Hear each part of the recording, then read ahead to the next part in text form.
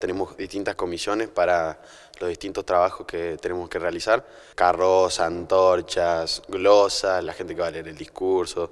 Eh, bueno, el tema de protocolos, que es los que organizan todo esto, que está quedando re lindo.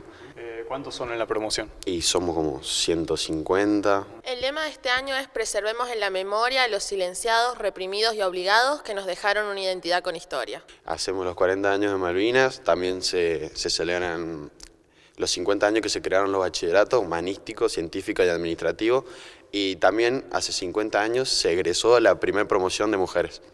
Este año también tenemos el honor de recibir el acompañamiento del Colegio Nacional de Montserrat, de Córdoba, con una delegación de tres alumnos del Centro de Estudiantes, más eh, la bandera nacional y bueno, las autoridades que los acompañan. Y también este año vuelve toda la secundaria, más sexto grado, que nos va a acompañar con la bandera gigante eh, a lo que sería el desfile y obviamente invitar a todo el pueblo que nos acompañe.